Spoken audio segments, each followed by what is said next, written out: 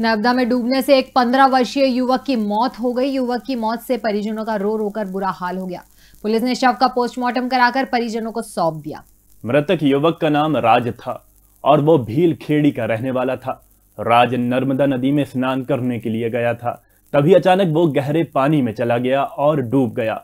घटना की जानकारी मिलते ही 108 पर तैनात पायलट नितिन सावले ईएमटी प्रवीण शर्मा ने मौके पर पहुंचकर राज को गंभीर अवस्था में शासकीय अस्पताल खातेगांव पहुँचाया, जहाँ मौजूद डॉक्टरों ने राज का स्वास्थ्य परीक्षण कर उसे मृत घोषित कर दिया। पुलिस ने पोस्टमार्टम के बाद शव को परिजनों को सौंप दिया है। नौ बज के सत्ताईस मिनट पर कॉल आया था हमारे पास। हम जैसे ही गए, वहाँ देखा उसको। तो उसको ऑक्सीजन ऑक्सीजन लगा के सीपीआर करते हुए उसको खातेगांव सीएससी सामुदायिक स्वास्थ्य केंद्र में लाए हैं।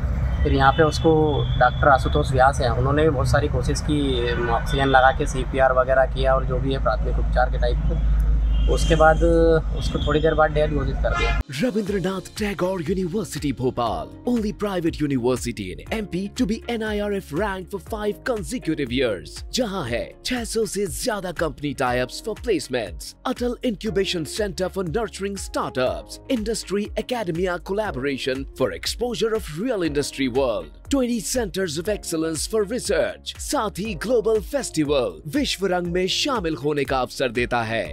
Rabindranath Tagore university unlocking potential